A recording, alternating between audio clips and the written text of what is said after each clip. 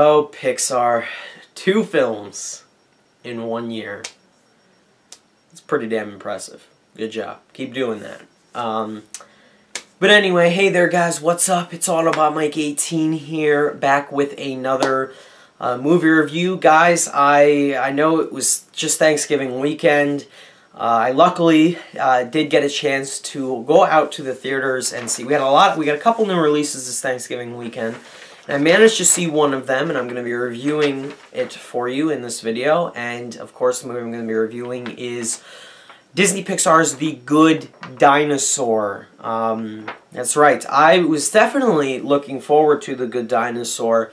Um, obviously because of who was attached to this project or who was spearheading this project. Pixar. That's right. This is the second Pixar film we have gotten this year. The first being Inside Out, and if you guys saw my review for Inside Out, my Blu-ray review for Inside Out, you guys know that it is one of my favorite movies of this year in my top five. I love Inside Out, okay? So I definitely was looking forward to The Good Dinosaur. I was amazed that Pixar was finally releasing two films in one year. And um, obviously, I will go, nowadays, I will go and see anything in a movie theater with Pixar's name on the title, okay? That's just me. Pixar is that good. Yes. Um, so, naturally, I paid uh, $10 to go to a uh, movie that the target demographic is definitely for children, but I don't care because it's Pixar.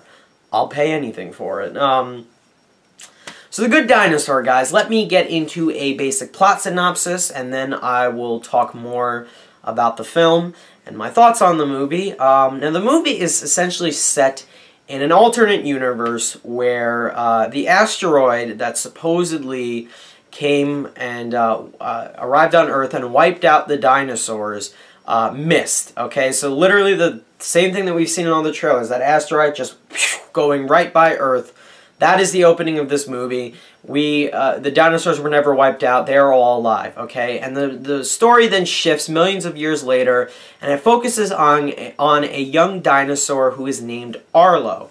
And Arlo is a um, the youngest son of a uh, family of farming dinosaurs where they're literally like mining corn, okay? Or not mining corn, they're growing corn and, you know, getting their crops and everything. That this is it's Pixar, guys. So um, and he's sort of like the like the the runt, okay? Like he's born at the same time as his his brother and his sister, and he's sort of like the runt, kind of like Wilbur was in Charlotte's Web, just to give an example. And um, the story focuses on Arlo and how he sort of wants to prove himself to be worthy in his family that is they all accomplish these great things essentially. And at some point he gets lost from his family. He has to find his way back to them uh, on a very long journey. And accompanying him on this journey at first very reluctantly is a young human boy who is named Spot. He's sort of like a like the son of like a caveman. Like he, he looks like a caveman. Like he's literally wearing like leaves as like a diaper, okay? And he is just this wild child. He's got like dirt and everything in his hair. He's wild. He's fero he's, fer he's ferocious. He's crazy. But at the same time, he is resilient and he knows how to survive. So the two of them, and Arlo is sort of the dinosaur who's literally scared of his own shadow. So the two of them are going to try to find their way back to uh, Arlo's family, okay? So he can get back to his family. And that is all I am going to say about The Good Dinosaur. Um, now, I went into this movie thinking, or I, I didn't really know what to make of the plot for this movie with the trailers because the trailers did a very good job of not really giving anything away in terms of plot. And I really liked that about it. I love when trailers do that. I love how they just really show us cool shots and gorgeous looking shots without really a, spoiling anything, or B, just giving us a taste of what the movie is going to feel like. And that is why I sort of got pumped up for The Good Dinosaur. And I can definitely confirm that visually and in terms of the animation, this is the probably the best looking animated movie I have seen all year long. The animation in this movie is stunningly gorgeous. There were moments where I literally just sat back in the theater in awe, my mouth dropped, and I was like, that is real, right? Okay, like they literally took a camera, they shot somewhere in like a forest or something, and that's real. That's what I'm what I'm looking at right now is real, right? Right? Okay, no, that's animated. Well, that's pretty damn good. Okay, that's literally what happened to me several times in this movie. And there are several aspects that worked incredibly well for The Good Dinosaur. This is definitely there are elements of this movie you can definitely say look at that and say okay yeah it's Pixar but I gotta say this much in regards to the good dinosaur this is definitely like if you throw this and several other movies in front of a person who's only seen a few Pixar films out of all the batch of movies, they would probably not even consider The Good Dinosaur to be a Pixar movie because this uh, it doesn't have like the specific look that like a Pixar movie would have, you know what I mean? I mean like yes, yeah, some human characters like are drawn to and they um, look like a human character would in another Pixar movie. I mean, you get that. But like in terms of uh, Pixar's like Easter eggs and everything that they throw in in all of their movies, um, you don't it's very hard to, to sort of find those easter eggs in this movie because it's set where everything is set outdoors. So you can't find a Pizza Planet truck somewhere or a Luxo ball okay? It's set you know in the ancient times sort of where there's cave people okay? But specifically we're focusing on dinosaurs. So you can't just see the number A113 okay? It's just not gonna happen. So yeah this is like the least sort of it has the least sort of feeling of a Pixar movie, and that is good and bad in a way, but mostly good. It's good that Pixar did something slightly different and sort of changed things up a bit. But in terms of like how you feel, how you know you you know feel emotionally attached to certain characters, and how there are sad moments in this movie where the emotions just sort of hit you out of nowhere, that all makes you it makes this movie feel like a Pixar movie, of course. Um, but in the same sense, yes, this movie is doesn't wholly feel like a Pixar movie. The problem, though, with The Good Dinosaur is that while it looks beautiful visually, the animation and everything looks beautiful. I see I saw this movie yesterday, so I had time to think about it. The one problem with The Good Dinosaur is lacking is really in terms of story component. Um, I felt that this movie lacked a lot in that. And I heard that this movie had gone through some problems during the production. I know that originally two different directors were attached to work on this movie. One had already started directing this movie. I think Bob Peterson, uh, the guy who voiced Doug in Up, uh, had been directing this movie, and then he stepped down and resigned. I don't know why. And um, uh, the guy who actually directed this movie, who's credited for directing this movie, Peter Sohn, came in to direct this movie. So I know that there were a lot of different visions for this movie and specifically where the story would take the, the characters and whatnot.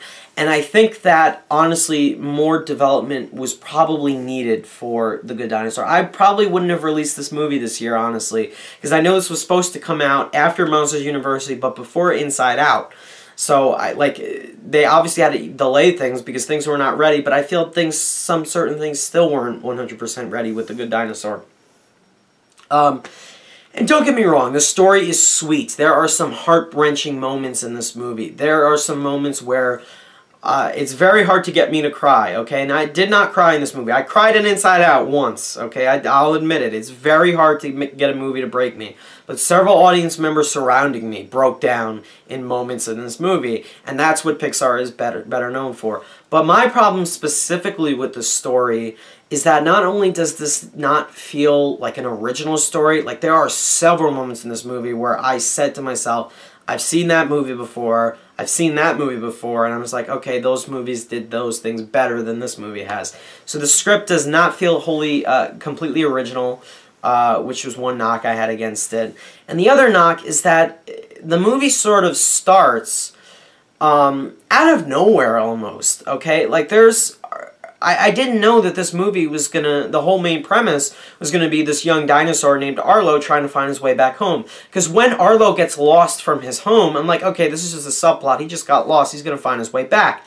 And then, I, and then it hit me like a few minutes later. I'm like, oh no, crap! This is the movie right now. This is this is the main premise of the movie, and it's really just that one storyline for the whole movie: Arlo trying to get home, Arlo trying to get home. And yes, the characters do grow throughout this experience. But by the time we come to the climax of the movie, by the time we get to the resolution even, it, it nothing felt earned. Like uh, there, there's a certain thing where Arlo wants to prove himself by putting his mark, okay, on this wall, okay, that his family, they all have their marks on the wall, and he wants to get his mark on the wall.